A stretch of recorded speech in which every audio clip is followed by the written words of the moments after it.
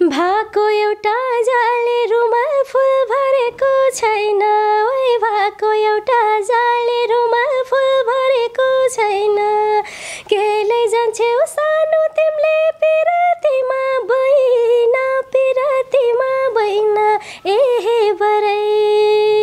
गीतहरू गाउँदाखेरि चाहिँ विष्णुमाझीको जस्तो छ अनि आधुनिक गीतहरू गाउँदाखेरि चाहिँ अन्जु पन्तको जस्तो छ भन्नुहुन्छ। खुसी लाग्छ मलाई एकदमै। गीत सङ्गीतमा लागेको त अब सानैदेखि हो। सानैदेखि जस्तो थ्री फोर्थ क्लासदेखि नै गीत सङ्गीतमा लागेको। अब गर्छु यही क्षेत्रमा जान्छु भनेर एकदमै सानैदेखिको रुचि अनि त्यसमाथि अब बाजुरा विकट ठाउँ होइन? अब त्यति अब यसरी आएर डाइरेक्ट आफूले त्यस्तो आफैले रेकर्ड गरेर आफै अगाडि बढ्न चाहिँ सकिनँ अब नराम्रो नराम्रो कुराहरू गर्नुभयो। त्यो क्षेत्रमा लाग्दिनँ भने पनि पछि पनि मान्नु भएन। त्यही कुराले चाहिँ बा बेला बेला त्यही कुरा दोहोऱ्याइरहने होइन। यस्तो क्षेत्रमा गयो उस्तो क्षेत्रमा गयो। त्यही हिसाबले गर्दाखेरि चाहिँ अब हाम्रो डिभोर्स भयो। अब डिभोर्स भएर उहाँ कता हुनुहुन्छ म उहाँको कन्ट्याक्टमा छैन। यस्तो नबुझ्ने श्रीमानसँग बस्दा त त्योभन्दा एक्लै बसेको राम्रो होइन। बिहान बेलुका टर्चर तनाव सहनुभन्दा त अहिले मलाई यत्तिकै ठिक छ। अब गाह्रो त एकदमै काठमाडौँ जस्तो ठाउँमा बस्नु आफूले सबै ठाउँमा भ्याउनुपर्छ यताउता होइन। गाह्रो त एकदमै छ। नानी पनि ठुलो छ छ सात वर्षको छ बुझ्छ उसले सबै बुझ्छ। बाबासँग जाऊ भने नि जाँदैन। बाले झगडा गर्नुहुन्छ भन्छ। घर परिवारमा सबै छ मम्मी बाबा भाइ बहिनी सबै हुनुहुन्छ। अब दुःख त एकदमै लाग्छ नि। म त तिन चार महिना त रोएरै बसेँ। केही हुन्थ्यो होला केही गर्थ्यो होला। मेरो ठुलो सपना थियो। जस्तो दुःख भयो नि म त्यहाँसम्म पुगेर केही गर्छु भन्ने एकदमै ठु ठुलो सपना थियो। त्यो चाहिँ कतिपय रोएरै बसेँ पछि पछिसम्म रोएरै बसेँ। मेरो त हरेक म्युजिक क्षेत्र भनेको जीवनको अमूल्य पार्ट हो कि। मैले दुःख गर्दा पनि म्युजिकलाई लगेर हिँड्छु सुख गर्दा पनि त्यही हरेक दुःख सुखको साथी मेरो एउटा म्युजिक हो। भाग्य फुट्यो। 西山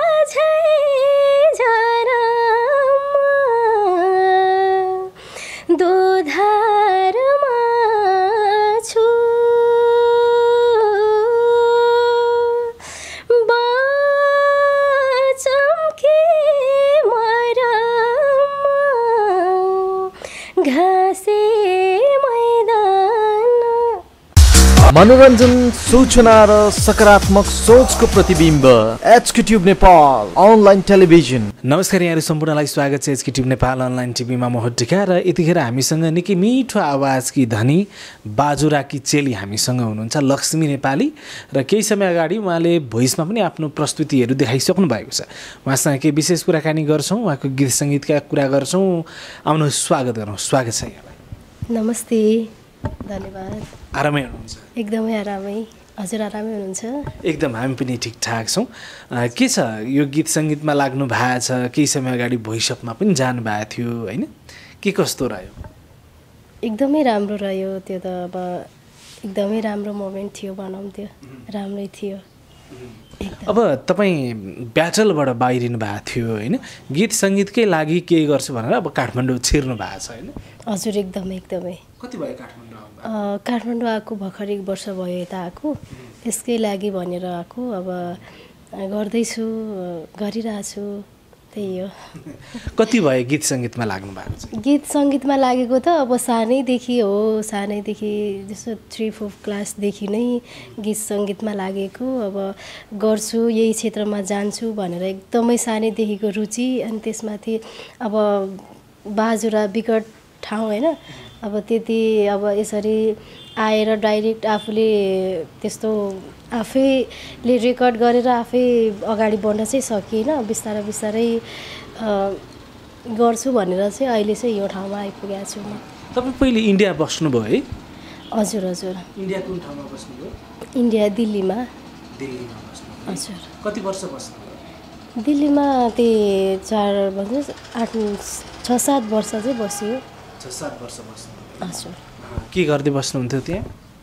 उता चाहिँ अब त्यही हो कि त्यस्तो अफिसहरूमा काम गर्थेँ अनि त्यही हो अफिसहरूमा काम गर्थेँ ठिक छ अब तपाईँ हाम्रो दर्शकहरूको लागि फ्रेस हुनुहुन्छ होइन? एउटा गीत सुनौँ अनि कुराकानी अगाडि बढाउँ न त है? ओके। कुन चाहिँ गाउने ब्याटलको उतै भोइसको गाउने कि गाउने? ओके। म चाहिँ गीत सङ्गीतमा चाहिँ जे होस् पुरानो गीतहरू एकदमै मन पराउँछु। हजुरहरूलाई सुनाउँछु ब्याटलको अनि न के अरे उसको चाहिँ गीतहरू पछि सुनाउँदै गर्छु। म चाहिँ अहिले मा एउटा पुरानो गीत सुनाउँछु। फुलको थुङ्गा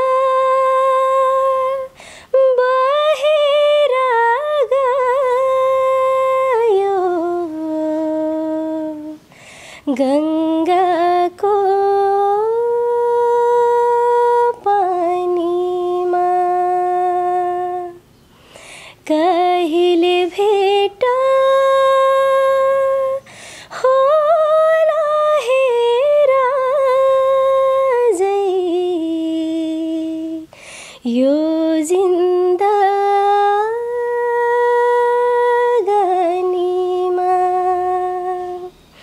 झरेको पछि झुल्केको घाममा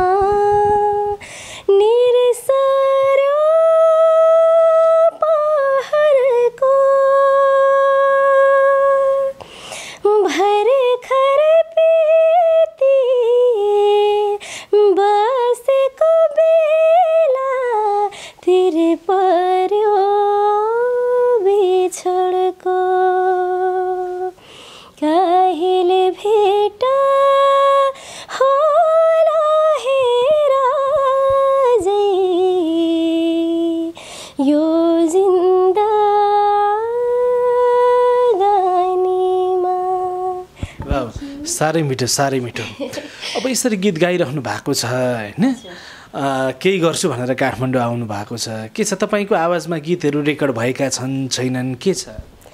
अहिले चाहिँ एक दुईवटा गीत चाहिँ रेकर्ड भएका छन्। एउटा देउडा गीत एउटा देउडा गीत अनि लोकगीत दुई एउटा लोकगीत दुई तिनवटा देउडा गीत भइरहेछ। अहिले बाहिर चाहिँ आएको छैन।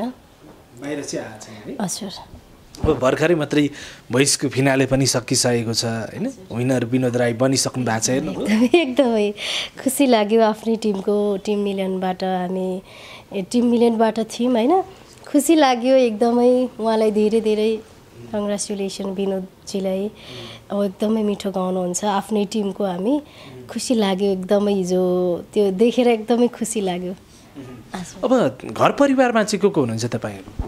घर परिवारमा सबै छ मम्मी बाबा भाइ बहिनी सबै हुनुहुन्छ। के भन्नुहुन्छ तपाईँको बारेमा एकदमै सपोर्ट गर्नुहुन्छ। उहाँले त पहिल्यैदेखि नै मेरो बाबाको ठुलो सपना थियो कि मेरो छोरीलाई एकदम सिङ्गर बनेको र त्यो टिभीको पर्दामा देख देख्न पाओस् भन्ने एकदमै ठुलो इच्छा राखेको मेरो बुवाको एकदम ठुलो सपना। एकदमै अझै पनि जो सपोर्ट गर्नुहुन्छ लागि जस्तो भयो नि जे भयो नि जस्तो भयो नि त लागिराख गरिराख राम्रो गर भन्नुहुन्छ एकदमै सपोर्ट गर्नुहुन्छ मेरो बाबाले। मैले सुनेअनुसार तपाईँको गीत सङ्गीतकै लागि तपाईँको परिवार पनि टुट्यो भन्ने कुरा कतै कतै मैले सुनेको थिएँ। के हो खास?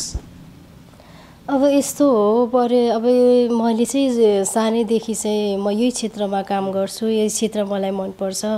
अब यस्तो अब सानैदेखि गीत गाउनाले होला स्कुलहरूमा पनि गर्दाखेरि चाहिँ अब कति राम्रो छ तिमी भविष्यमा एउटा ठुलो सिङ्गर बन्न सक्छौ मिहिनेत गर राम्रो गर भन्दै हुनुहुन्थ्यो। अब त्यही बेलामा चाहिँ अब बिस्तारै बिस्तारै त्यतिखेर त यस्तो एउटा टच मोबाइलहरू पनि थिएन त्यतिखेर होइन? सानो सानो मोबाइलहरू हुन्थ्यो।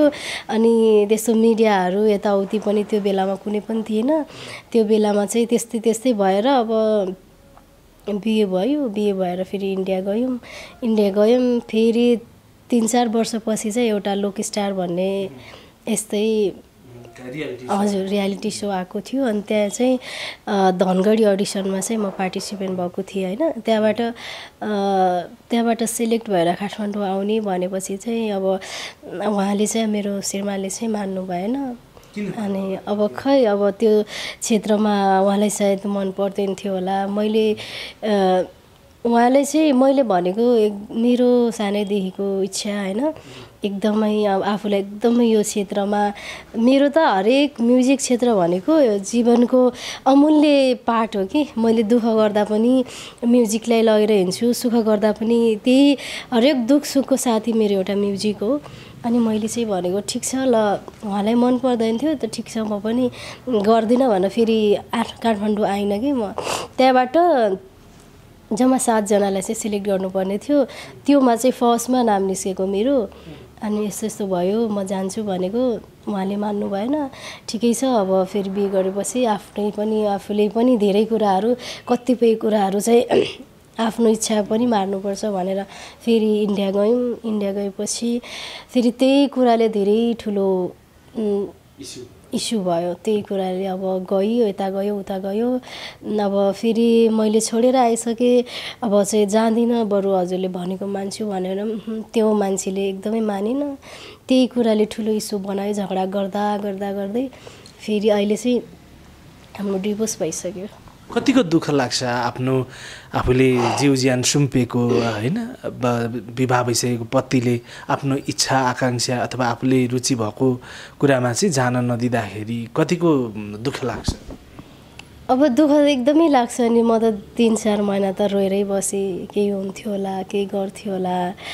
मेरो ठुलो सपना थियो। जस्तो दुःख भयो नि म त्यहाँसम्म पुगेर केही गर्छु भन्ने एकदमै ठु ठुलो सपना थियो। त्यो चाहिँ कतिपय रोएरै बसेँ पछि पछिसम्म रोएरै बसेँ मेरो सपना पुरा भएन भनेर त्यसपछि त्यही कुराले गर्दा अब धेरै झगडा भयो धेरै मतलब यस्तो नराम्रो नराम्रो कुराहरू गर्नुभयो। त्यो क्षेत्रमा लाग्दिनँ भने पनि पछि पनि मान्नु भएन। त्यही कुराले चाहिँ बा बेला बेला त्यही कुरा दोहोऱ्याइरहने होइन यस्तो क्षेत्रमा गयो उस्तो क्षेत्रमा गयो। त्यही हिसाबले गर्दाखेरि चाहिँ अब हाम्रो डिभोर्स भयो। अब डिभोर्स भएर उहाँ कता हुनुहुन्छ? म उहाँको कन्ट्याक्टमा छैन। अब म आफ्नो अगाडि बढिरहेछौँ गीत सङ्गीतमा। कति वर्षपछि डिभोर्स भयो विवाह विवाह भएको? त्यही चारमा विवाह भएको चार पाँच वर्षपछि डिभोर्स भएको। पाँच छ वर्ष भनौँ। तपाईँहरूको बच्चा बच्ची पनि हुनुहुन्छ कि? नानी छ एउटा हजुर। नानीले त पक्कै बाबाहरू खोज्नुहुन्छ होला नि बाबा खोज्नुहुन्छ होला। खोज छ अब ठुलो छ पाँच छ वर्षको छ ठुलो छ। सानैमा बिहे भएको त्यतिखेर नबुझ्ने अब केही नहुने भनौँ पन्ध्र सोह्र जस्तै समथिङ होइन? त्यतिसम्म भएको। अब नानी पनि ठुलो छ छ सात वर्षको छ। बुझ्छ उसले सबै बुझ्छ। बाबासँग जाऊ भने नि जाँदैन। बाले झगडा गर्नुहुन्छ भन्छ। त्यही हो। कति गाह्रो हुन्छ एकजना बच्चा लिएर एकल भएर बस्दाखेरि चाहिँ कतिको पीडा हुन्छ? अब पीडा त के भनौँ होइन अब जस्तो नबुझ्ने श्रीमानसँग बस्दा त त्योभन्दा एक्लै बसेको राम्रो होइन। बिहान बेलुका टर्चर तनाव सहनुभन्दा त अहिले मलाई यत्तिकै ठिक छ। अब गाह्रो त एकदमै काठमाडौँ जस्तो ठाउँमा बस्नु आफूले सबै ठाउँमा भ्याउनुपर्छ यताउता होइन। गाह्रो त एकदमै छ। तपाईँ यता आइसकेपछि होइन जब तपाईँ टेलिभिजनमा आउनुभयो भोइसअपमा आउनुभयो आइसकेपछि उहाँले तपाईँलाई कन्ट्याक्ट गर्नुभयो कि छैन? अब देखेपछि कन्ट्याक्ट त कता कताबाट कता कता साथीहरूको थ्रुबाट यताउति हेरिरहेछु मैले गरिरहेछु के गर्दैछ के गर्दैछ भनेर बुझ्छ न त बु बुझ्ने चाहिँ बुझ्छ अरे कि मेरो बारेमा? तर मसँग चाहिँ त्यस्तो कन्ट्याक्ट भएको छैन मैले गरेको छैन खोजेको छैन। मतलब मैले उसले अब उहाँले चाहिँ त्यस्तो खोजे होला तर म चाहिँ अब त्यस्तो खोज्दिनँ। अब उहाँ आउनुभयो भने होइन अब छोरा हुनुहुन्छ या छोरी हुनुहुन्छ होइन? उहाँको लागि भए पनि मिल्ने सम्भावना कतिको छ? त्यो चाहिँ छैन। अब एकदमै मैले त्यो एकचोटि भयो होइन दुई तिनचोटि भयो होइन। एकचोटि त हामी मिलेर बस्यौँ त्यसपछि फेरि तिन चारचोटि दोहोऱ्यो नि त त्यो काम। मैले सुरुमै डिभोर्स गरेको होइन। मिल्यौँ मिलेपछि पनि फेरि त्यही हुन थाल्यो। अब त्यो त्योमा कुनै आश भरोसै छैन। अब त्यो पछि राम्रो हुन्छ भन्ने पनि छैन। नराम्रो मान्छे त अब कसरी राम्रो हुनु होइन? त्यो बारेमा चाहिँ त्यही हो के भनेपछि पीडा धेरै पाउनु भएछ है? धेरै पाएँ नि एकदमै धेरै पाएँ कस्तो कस्तो भयो धेरै भयो। अब त्यो विगतलाई सम्झेर त एकदमै आफूलाई अहिले नि त्यस्तै लाग्छ कि गाह्रो हुन्छ त्यो कुराहरू सम्झ्यो भने ठिकै छ। यत्तिकै ठिक छु म। अब कसैसँग मिल्न चाहदिनँ। यत्तिकै ठिक छु नानी छ एउटा नानी ठुलो भयो भने पढाउँछु उसलाई ठिक छ यत्तिकै ठिक छ। ती पीडाहरू सम्झिँदाखेरि त भक्कानिएर आउँदैन? आउँछ नि एकदमै। आउँछ एकदमै। अब सम्हाल्नुपर्छ एक्लै एक्लै बाँच्न सिक्नुपर्छ। कुनै मोडमा कस्तो हुन्छ भन्ने कसैले थाहा हुँदैन। जे होस् अब सम्हालिनु अब त्यसो बानी पनि राख गर्नुपर्छ। कुनै टाइममा यस्तो हुँदो रहेछ। हजुर। ओके। एउटा गीत सुनौँ मलाई अब फेरि अनि अरू कुरा हुन्छ एउटा गीत सुनौँ। त्यही सम्बन्धी एउटा सानो भनेपछि अब त्यस्तै त्यस्तै पीडादायक गीतहरू होइन। अनि त्यस्तै त्यही कथा अनुसारको एउटा गीत मलाई साह्रै मनपर्छ। त्यो सुनाइदिन्छु।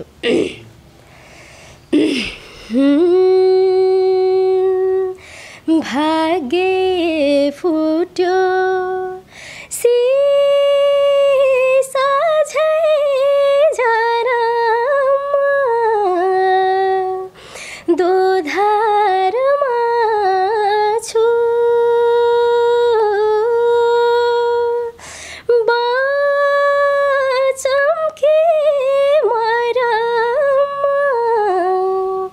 घाँसे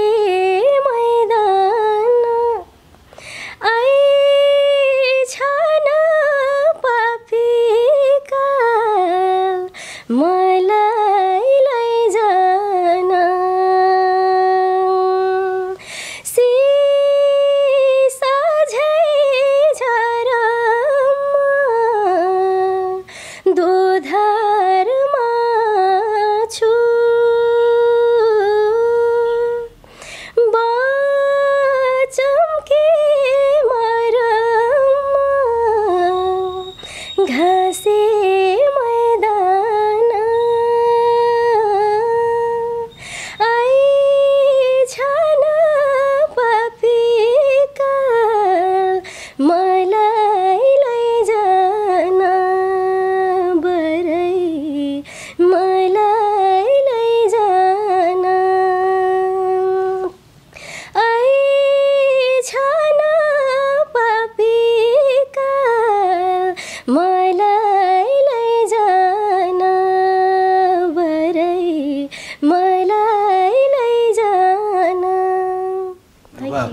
आफ्नै जिन्दगीमा घटेको पीडा हो। एकदमै एकदमै हजुर एकदमै। यो जुन किसिमको तपाईँले पीडा पाउनुभयो गीतले भने जस्तै पनि तपाईँको जीवनमा भएको थियो कि थिएन? एकदमै भएको थियो। त्यही भएर त यो गीत गाउने गर्छु। त्यही भएर त कहिले बिर्सिन्न? दिमागमा यही गीत आउँछ। कुन गीत गाउने भने पनि यही गीत आउँछ। यस्तै छ जिन्दगी।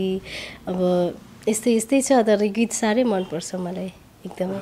भनेपछि गीतले भने जस्तो कुनै बेला जिन्दगी नै त्याग्ने मोडमा पनि पुग्नु भएको थियो तपाईँ त्यस्तो मोडमा पनि थिएँ होला पहिला होइन? एकदमै किनकि अब त हजुरहरूले त्यो मेरो भोइसको यो त्यो पनि हेर्नुभयो होला होइन? पुरै मेरो मैले सबै मैले मतलब सबै भनेको छु होइन? मैले त्यस त्यति बेला त्यस्तो पनि थियो अब त्यस्तो थियो नै भन्नुपर्छ। थियो अब त्यही हो थियो नै त्यस्तो। अहिले के कस्तो खालको प्रतिक्रिया पाउनु भएको छ तपाईँले आफ्नो ठाउँ गाउँ साथी सर्कलबाट चाहिँ? अहिले चाहिँ अब सबैजनाले राम्रो गरिरहेछ राम्रो तिमी राम्रो गरिरहेछ तिम्रो भोइस पनि राम्रो छ एकदमै हौसला दिनुहुन्छ माया गर्नुहुन्छ। सबै साथीहरूले कतिपय लक्ष्मी नेपाली भनेर नचिन्ने मान्छे अहिले भोइस त्यो प्लेटफर्मले चाहिँ मलाई चिनाइदियो। त्यसलाई चाहिँ म त्यो होल युनिटलाई होल समूहलाई चाहिँ एकदमै धेरै धन्यवाद भन्न चाहन्छु होइन? मलाई अहिले पहिला नचिन्ने मान्छेहरू धेरै अहिले चाहिँ लक्ष्मी नेपाली भनेर चिन्नु चिन् चिनाइदिएको छ होइन? त्यो चाहिँ खुसी लाग्छ। अब साथ सपोर्टहरू त धेरै गर्नुहुन्छ सबैले। तपाईँ भोइसमा आउँदाखेरि चाहिँ म यहीँसम्म मात्रै आइपुग्छु अथवा यहाँभन्दा माथि पनि जान्छु होला। के लागेर आउनु भएको थियो? अब भोइसमा जाँदाखेरि चाहिँ हामीले म्युजिक क्लासहरू पनि जोइन गरेको छैन म्युजिकहरू पनि सिकेको छैन होइन? अब त्यो चाहिँ एउटा के हुन्छ भन्दाखेरि चाहिँ हामीले कस्तो अनुभव हुँदो रहेछ होइन? अब जस्तै दिम होइन? कस्तो छ के छ? दिँदै गरौँ। अब हामी नसिकेको मान्छेहरू माथिसम्म पनि त्यो माथिसम्म जाने त आश गरेकै थिएन।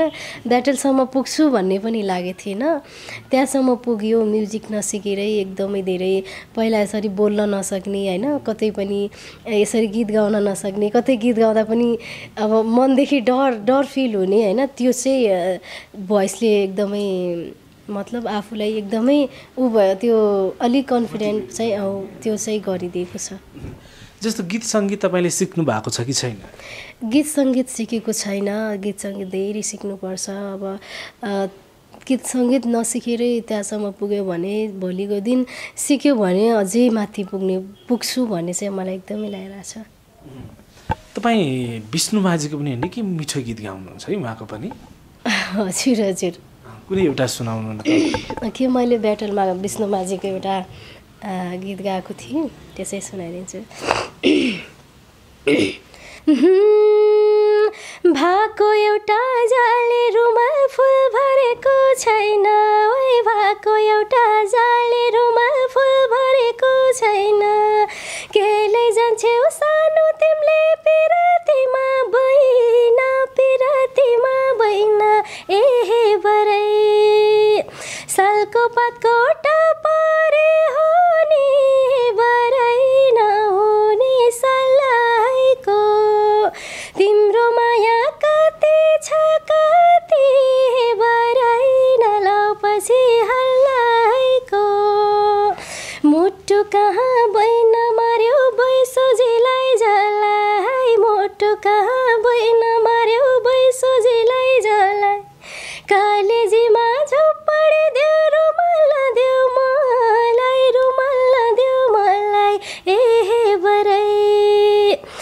सालको पातको टपरे हो नि बरै नहुने सल्लाहको तिम्रो माया कति छ कति बरै नलाउ पछि हल्लाइको तिम्रो माया कति छ कति बरै नलाउ पछि हल्लाइको साह्रै मिठो साह्रै। कतिपयले तपाईँको गीत सुन्दाखेरि नि तपाईँको आवाज त विष्णु माझीको जस्तै रहेछ भन्नुहुन्छ कि हुन्न? भन्छ एकदमै भन्छ त्यस्तै। देउडा गीत गाउ चाहिँ जस्तै यस्तो गीतहरू गाउँदाखेरि चाहिँ विष्णु माझीको जस्तो छ अनि आधुनिक गीतहरू गाउँदाखेरि चाहिँ अन्जु पन्तको जस्तो छ भन्नुहुन्छ। खुसी लाग्छ मलाई एकदमै। अन्जु पन्तको जस्तो छ पनि भन्नुहुन्छ है। ल एउटा सुनिदिउँ न ओके। अन्जु पन्तको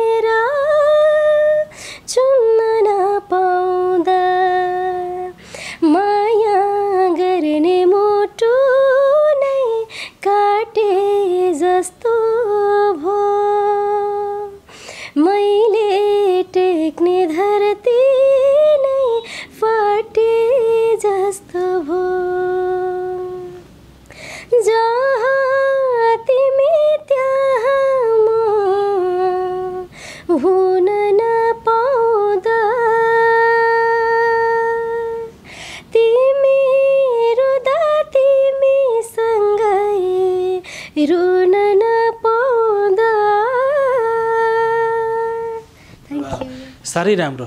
अब भने अन्तिम अन्तिममा पनि छौँ होइन निकै मिठो गीत गाउनुहुन्छ। के भन्नुहुन्छ तपाईँका शुभचिन्तक तपाईँलाई हेरिराख्नु भएको छ होला? धे- धेरैले हेर्नुहुन्छ। उहाँहरूलाई के भन्नुहुन्छ? अब सबैले होइन अब यस्तो मैले चाहिँ उहाँको मिडिया हजुरहरूको मिडिया फ्यामिलीलाई एकदमै फलो गरिरहेको थिएँ एकदमै हेरिरहेको थिएँ। हजुरहरूले यस्तो यस्तो प्रतिभाहरूलाई धेरै माथिसम्म कसैको धेरै माथिसम्म पनि भएको छ होइन। त्यही हिसाबले चाहिँ अब सबै हजुरहरूले सबैले हेरिरहनु भएको छ। अब म चाहिँ मेरो अब भनौँ न आर्थिक अवस्था एकदमै त्यस्तो आफैले रेकर्ड गर्ने आफै गर्न सक्ने चाहिँ नभएर है सबै साथीहरू मतलब दर्शक श्रोताहरूले मलाई एकदमै धेरै सपोर्ट गरिदिनु होला माया गरिदिनु होला। हजुरहरूको एकदमै धेरै साथ सपोर्ट चाहिन्छ मलाई। म जस्तो साथ सपोर्ट दिइदिनु होला। हामी अन्तिममा छौँ अन्तिममा एउटा मिठो गीत सुनाउँछु। दर्शक श्रोताहरूलाई धेरै माया गरिदिनु होला। अहिले एकदमै यो गीतलाई चाहिँ अहिले एकदमै मतलब यो गीत धेरै मन पराउँछन् एउटा लोकगीत। म त्यो गाइदिन्छु अनि छुट्याउँछौँ त्यसपछि।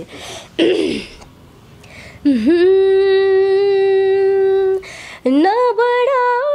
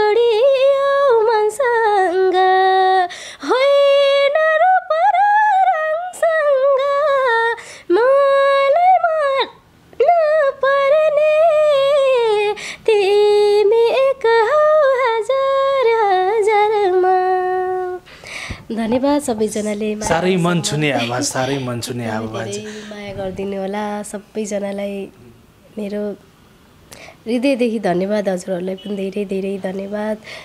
यस्तै यस्तै कला भनौँ यस्तै यस्तै कलाहरूलाई अझै अगाडि बढाउँदै जानु होला। दर्शक श्रोताहरूलाई पनि यही भन्न चाहन्छु सबैजनाले साथ सपोर्ट मिडिया लगायत अरू म लगायत मिडियाहरूलाई पनि धेरै राम्रो राम्रो कमेन्ट मिठो मिठो कमेन्टहरू राम्रो गरिदिनु होला। धन्यवाद। पक्कै पनि तपाईँको यो यति मिठो आवाजलाई विशेष गरी लोकगीत सङ्गीतले चिनोस् होइन? किनभने यति राम्रो आवाज छ। मलाई त लाग्छ तपाईँको यो आवाज सही ठाउँमा सही मान्छेको हातमा पर्यो भने। अवश्य पनि एक दिन लोकगीत सङ्गीतको धेरै उचाइमा तपाईँ पुग्ने जस्तो देख्छु म। यहाँलाई आगामी दिनको धेरै धेरै शुभकामना चाहिँ। Thank you so much thank you so much हजुरहरूलाई पनि धेरै धेरै धन्यवाद। हस् थ्याङ्क यू सो मच